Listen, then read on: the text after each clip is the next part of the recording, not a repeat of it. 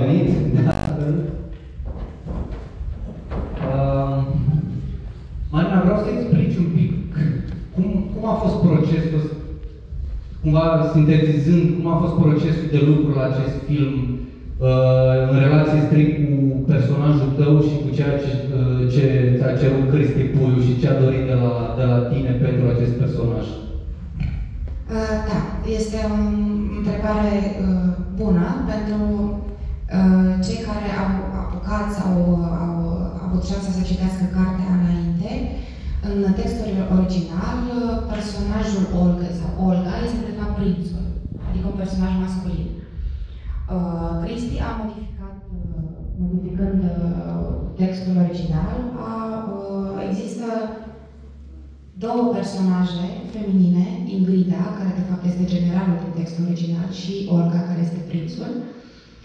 Uh, Iar uh, din discuțiile cu el purtate pe set, pentru a uh, ca fiecare personaj să aibă o valență și ca să poți să, ca fiecare personaj să devină credibil și, în ace- și în același timp simpatic, să atragă simpatia uh, ascultătorului, uh, trebuia să contracareze antipatia uh, personajului din carte, a prințului, cu un tip de candoare și cu un tip de naivitate, în așa fel încât uh, uh, bigotismul uh, Olgă sau uh, superficialitatea ei sau felul ei de a reinterpreta Biblia după bunul plac, câteodată, să nu pară uh,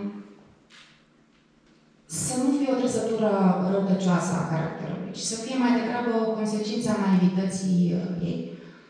Și la asta, uh, practic, am lucrat.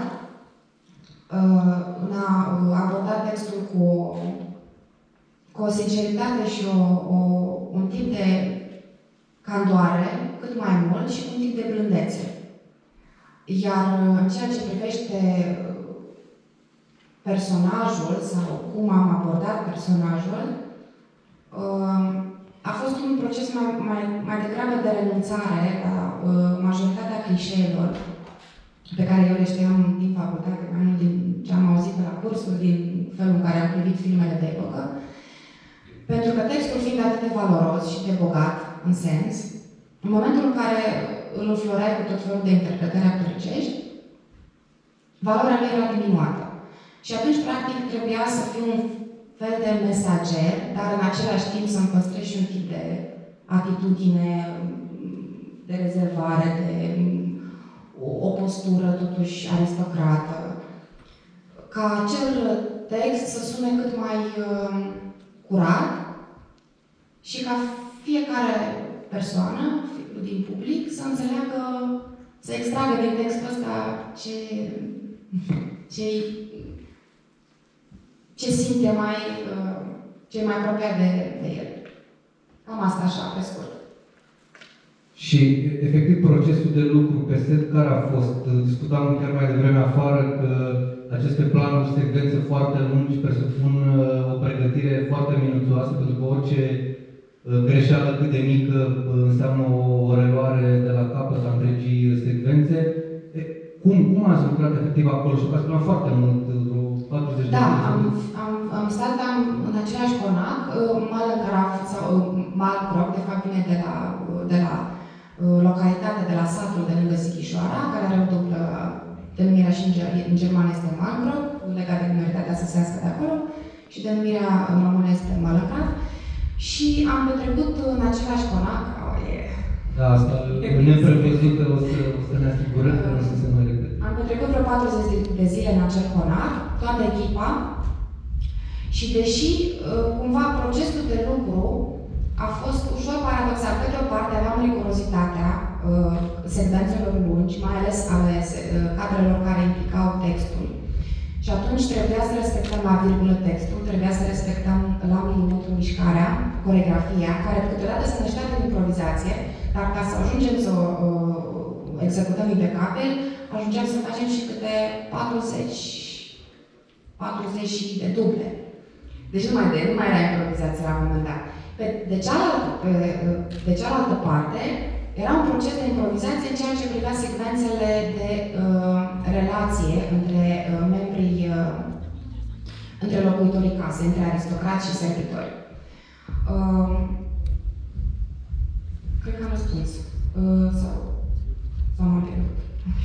Din cauza muzicii. Nu, ai răspuns la, ai răspuns la întrebare, dar uh, mai vreau să te întreb înainte să dau, vă dau cuvântul dumneavoastră. Ce, ce ai simțit în momentul în care ai văzut prima dată filmul? Cum, cum l-ai uh, raportat la ceea ce știai că ai făcut în momentul, în momentul în care ai filmat? Da. Mi-am amintit unde m-am pierdut și revin și la întrebarea asta. Și uh, pentru a coordona toate aceste secvențe, noi trebuia să lucrăm în echipă. De, de, de aceea, cumva, eu personal nu cred că există personaje principale și secundare în acest film, pentru că inclusiv servitorii joacă un rol foarte important, cum este personajul lui Iștvan, al lui Sorin. Uh, este un organism care funcționa, uh, era dependent, era un tip de simbioză, nu doar cu, între actorii din fața camerei, dar și în echipa din spate, pentru că totul trebuia coordonat extrem de uh, atent ca să nu pierdem uh, timpul. Și legat de felul în care am uh, perceput prima dată, după 3 ore 20, uh, mă durea capul. A fost foarte intens și am încercat, am încercat să mă detașez, să nu privesc filmul ca um, o actriță în care aș vrea să se uită la ea pe ecran, ci am încercat să privesc din perspectiva unui uh, spectator, uh, pentru că, într-adevăr, textul m-a marcat foarte mult și a rămas cumva în, în spate și și acum câteodată mă întorc la anumite pasaje din el.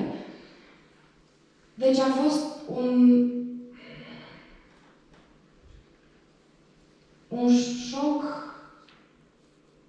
dar un șoc intelectual și în același timp a fost... Uh, m-am surprins că e foarte emoționant, a fost foarte emoționat filmul. Pentru că claritatea discursului și felul în care textul ajungea să devină personajul principal în timp ce urmăream filmul, m-a emoționat foarte tare și m-au emoționat, um, m-a emoționat imaginea picturală, m-au emoționat uh, actorii, m-a emoționat Frederic, uh, actorul care îl interpretează pe Nicolai, m-a emoționat Istvan, uh, mi-am dat seama de fapt că există niște posibile relații în aceste, între aceste personaje pe care eu nici măcar nu le bănuiam din timpul filmării. Pentru că niciodată aceste nu au fost duse până la capăt relațiile dintre personaje. Și ambiguitatea asta a fost inclusiv în, printre noi. Pentru că nici noi până la capăt nu știam cine sunt ei, ce fac și uh, ce fac, ce se ocupă în această casă. Știam așa, o schiță. Uh, după care, um, dar textul, textul m-a lovit foarte tare și felul în care a fost rostit textul. Și am înțeles cumva ce am făcut și ce trebuia să fac. Abia când am văzut filmul, până atunci nu știam ce, exact ce fac. Nu înțelegeam exact uh, de ce spunea Cristi că trebuie să fiu într-un fel sau altul. Și după aia, când am văzut imaginea de ansamblu, S-a aprins exact. un reculeț, da. Mai mult. Uh, bun. Dacă aveți întrebări, curiozități legate de acest film, am început o repede cu două, trei întrebări ca să vă dau, uh, să vă dau timp să, să vă gândiți la, la eventuale curiozități. Așa că vă rog să ridicați mâna. Dacă aveți... Uh, da, întrebare acolo.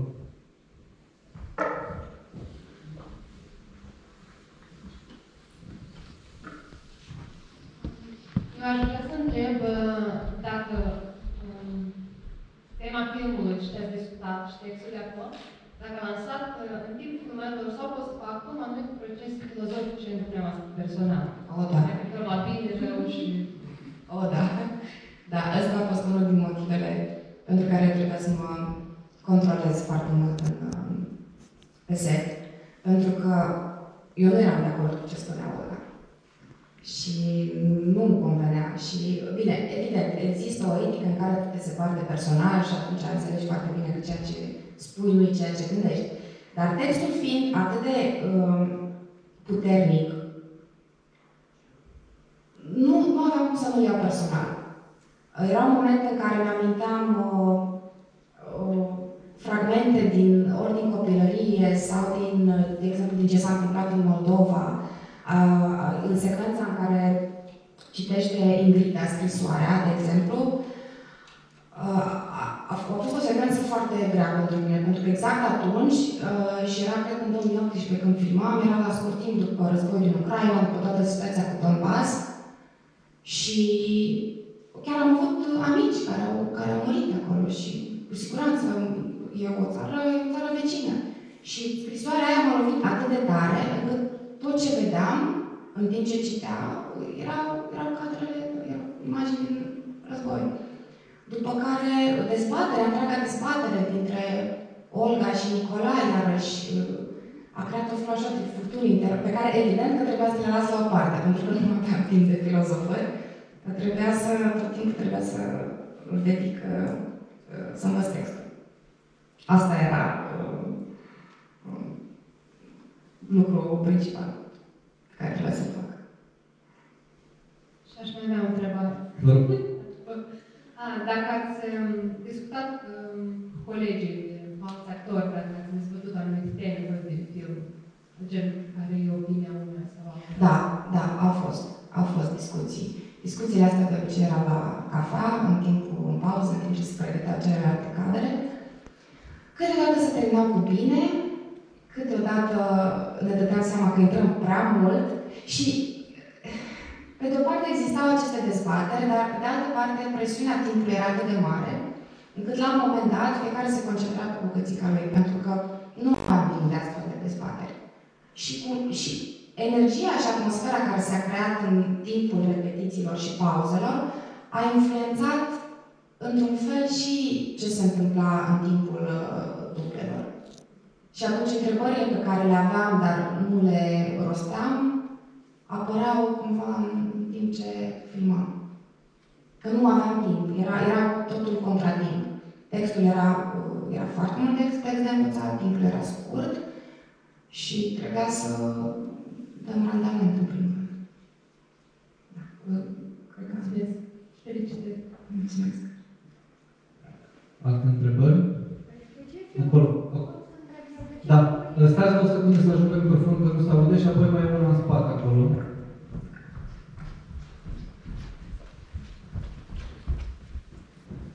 Mai pe să spun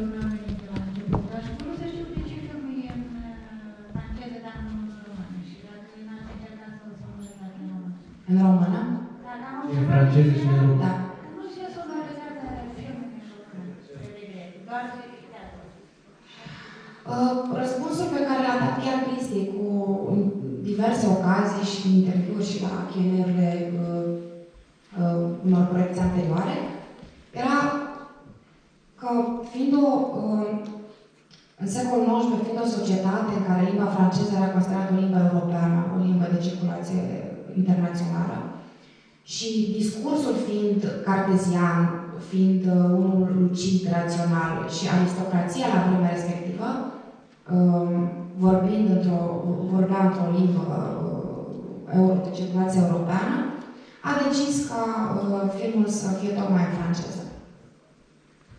Și a ales un, un spațiu în Transilvania unde e posibil ca oamenii să vorbească în franceză, deși e în Rusia, se întâmplă în Rusia. Uh, în, în textul original. Acolo, da, înainte era o întrebare în spate, la, mai în spate, uite acolo, la, în spate de tot, la Ana Felicia. Ana Nu e Ana Felicia, e doamna, a, scuze, n-am văzut. Am crezut că e...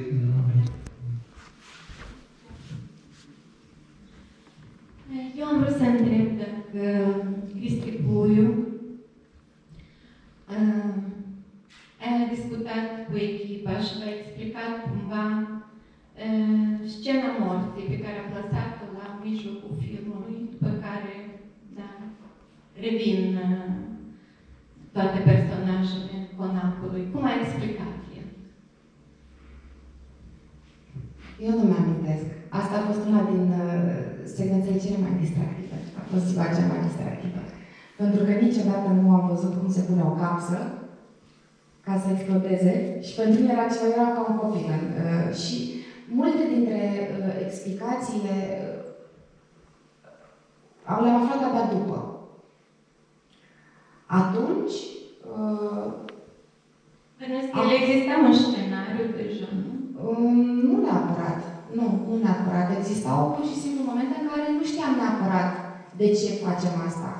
Uh, pur, și, pur și simplu uh, trebuia să facem, uh, trebuia să ne concentrăm atât de mult să, să executăm niște acțiuni, uh, niște mișcări exacte, să spunem textul într-un fel, încât uneori nu eram conștienți de uh, încărcătura uh, uh, de sens sau de, de simbolistica din spate. Asta a venit după. Da, erau discuții, într-adevăr, că poate fi o aluzie la Revoluția bolșevică.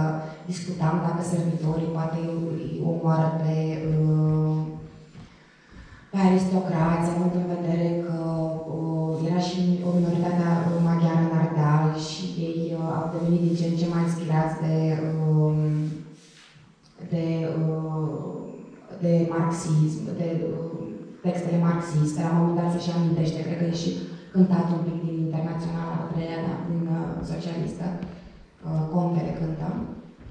Uh, deci da, au existat discuții, dar n-am știut exact despre ce e vorba și cred că și mi se pare frumos că nu știu exact.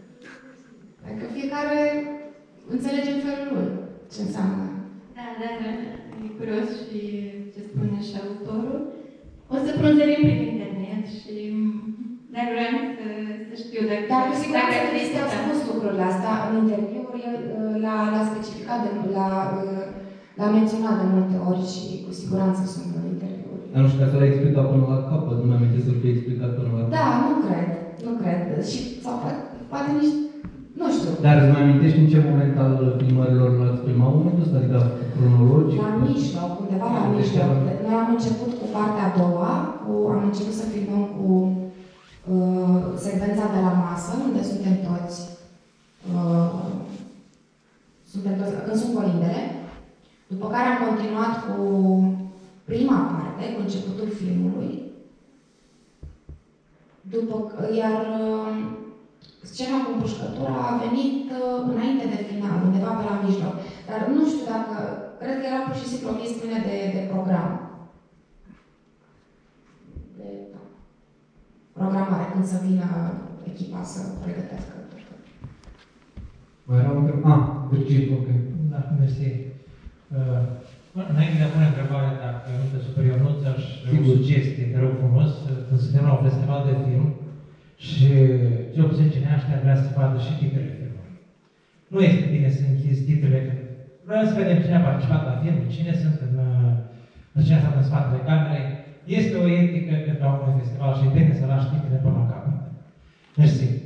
Uh, revenind la întrebare, uh, știm că virgulă Cristi Puiu este un dur pe platou. Nu. Filmul lui Cristi Puiu, ca regizor, este dur. Dur. Ah. Da. Filmul este destul de cald și toată atmosfera de film este caldă și pacifistă. Ai simțit această graniță sau cum s-a manifestat această relație între actori, între voi și regizori? Bună întrebare. Um, da, e într-adevăr o diferență. Uh, atmosfera la filmare a fost destul de tensionată, uh, pentru că eram contratimp și trebuiau de făcut foarte, trebuiau, trebuiau făcute. E ok dacă schimb o dacă... Am obosit pe român. Um, în franceză, bun. Um, da, deci a fost, uh, dacă e să vorbesc despre relația actor-regizor, cred că am avut parte de o școală spartană, de un mic cantonament. Pentru că tot ce îmi imaginam despre film, din ce văzusem mai mult, pentru că nu jucasem, uh, e debutul meu, practic, în cinematografie, și am învățat de la zero. Și Cristi a fost într-adevăr dur cu mine, pentru că trebuiau obținute niște lucruri pe care eu poate nu le înțelegeam neapărat de la început. La momentul atunci, la primul nu înțelegeam exact de ce e nevoie de acea veritate, dar când am văzut filmul am înțeles foarte bine. Și e bine că e așa, pentru că rezultatul e, e important. Și e o duritate care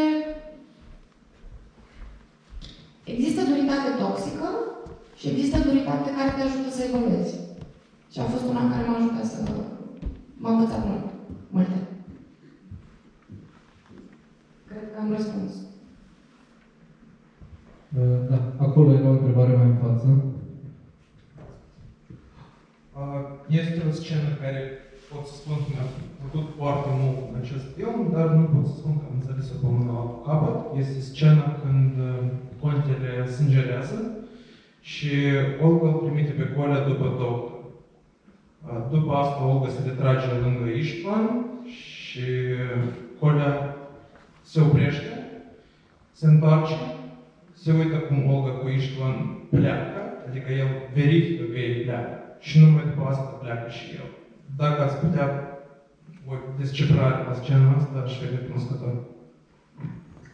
Sigur n-ai înțeles. Adică, cred, eu am o, o, o versiune a mea, dar la fel ca spectator, pentru că uh, eu pot să zic cum am reacționat în timp ce am văzut filmul. Eu l-am văzut pe uh, servitor, ezitând să ridice inelul acela, pe care vine Simona și îl ridică și îl aranjează la loc și este un raport între servitori. E, mie mi se pare un, un, un dialog non-verbal care de fapt arată uh, caracterul fiecărui personaj.